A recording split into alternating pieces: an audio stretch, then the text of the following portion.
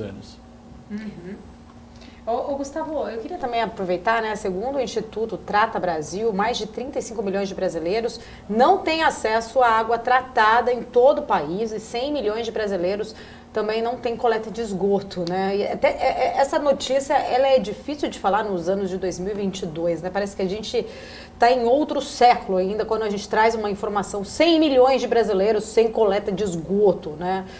Ou seja, é até complicado. Sendo metade aí do esgoto do Brasil ainda não é tratado. Considerando essa carência toda desse setor, como que você avalia os investimentos em saneamento, o impacto do novo marco, que tenta buscar já há 10 anos garantir pelo menos 99% da população água potável, 90% de tratamento de esgoto? A meta é ousada, mas os desafios, né, a gente tem visto aí, não são fáceis, são enormes, mas até agora a gente vê ainda parece que estamos a passos de tartaruga para resolver uma questão né, que poderia ter sido já resolvida há muitos anos. Mas de que forma né, você vê é, o setor aí, se ele pode se beneficiar agora em relação a essas questões do marco como um todo? É, eu entendo que o marco de saneamento ele pode ser decisivo para que daqui 5, 10 anos a gente olhe para trás e fale, bom, depois que foi aprovado, realmente esses números que eram vergonhosos, eles começaram a cair de forma mais rápida, mais acelerada. A tendência é essa, já foram firmados contratos